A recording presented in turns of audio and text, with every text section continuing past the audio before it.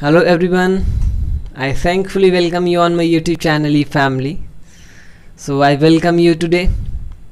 So today I'm just going to teach you phrasal verb. So this is my part 11. So today I have just taken fantastic phrasal verb and that is turf out.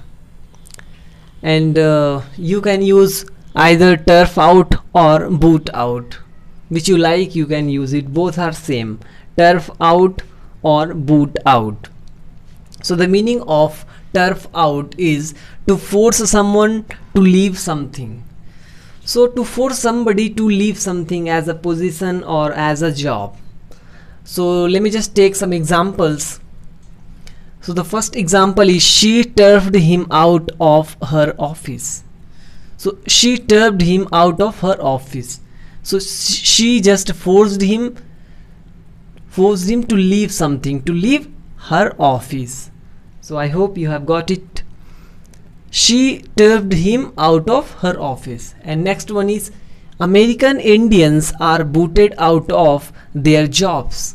And indian workers seeking to go to usa are turfed out of h1b visa so eh, American Indians it means who are living in United States of America are just booted out of their jobs. Means they are just you know forced to leave their job.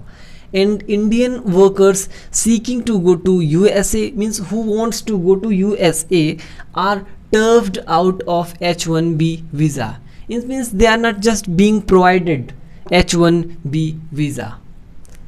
So this is all about today's lecture everybody. So this is this is a fantastic lecture i guess. So thank you everyone and i hope you have understood it very well this phrasal verb. So this is a tremendous ending fantastic ending of this lecture today. I thank you and thank you for supporting us. Thank you so much everyone